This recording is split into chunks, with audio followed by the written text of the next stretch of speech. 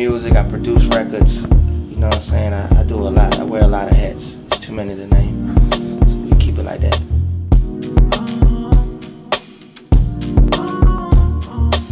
The event I'm at today is a video shoot for me and Don Trunk uh, for a record we got called Tonight. Um, it's like a very grown and sexy type record. You know what I'm saying? It give you a different feel. And you know what I'm saying? We young, so when we record, it was like, boy, we finna shake up somebody's grandma. You know what I'm saying? So that's basically what it is and how I got where I'm at. And where we at today at this shoot is just, you know, hard work and dedication, just staying focused and never stopping, and let nobody get in front of you and just keep doing what you're doing. You know what I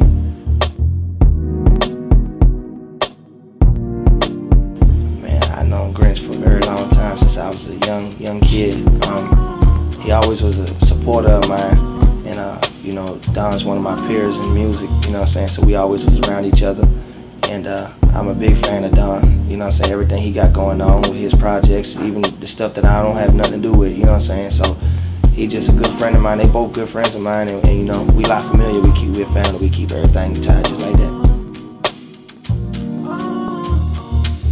Yes, I, um, I currently I'm working on a, a, project called Crabs and Blow. That's a new mixtape that I'm finna put out, uh, hosted by DJ Drama. It's a Gangsta Grillz, um, and uh, that's gonna be put out on Free Bandz. Um, so you know that's really what I'm working on now. Um, been just lining up for this tour. I got a tour that I'm going on with Drake and Future. Um, it starts on August the 5th, which is my birthday. So you know what I'm saying it's big.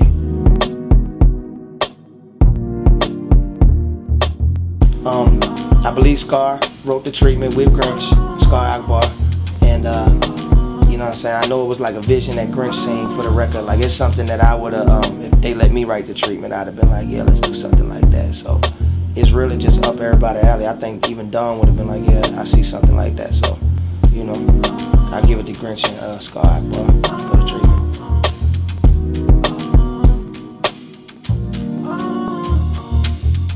Um, Chillin' Hard Music CHM. So I got my label signed as well to the label, you know what I'm saying? I didn't just sign as an artist, you know what I'm saying? I, I got my label signed and I also got a deal with LA Reid and Epic, you know what I'm saying? So we, we got things we ironing out right now. It's a deal that's getting ready to be pushed through. I'm just really waiting on, on uh, a couple more people to just come to the table and add in their opinion, you know what I'm saying? So um, everything I got going on with Free Bandz, you know what I'm saying? I'm signing the future. That's a good friend of mine. Um, before the music, before he was on TV and all that, like man, that's my friend. You know what I'm saying? So we um we got a uh, you know a nice history together. And um, you know everything for me is just about staying positive, staying focused. Every opportunity that come to me, I capture it, I run with it. Anybody that know me know I started from the ground up and I never stop. I ain't never going to. They know that. So.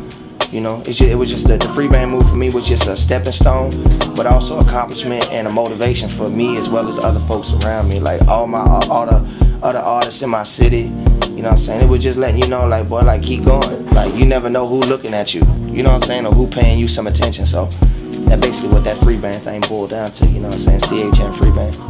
No matter where you go, they can't take your place. Girl, you got my soul like amazing grace, and that's why,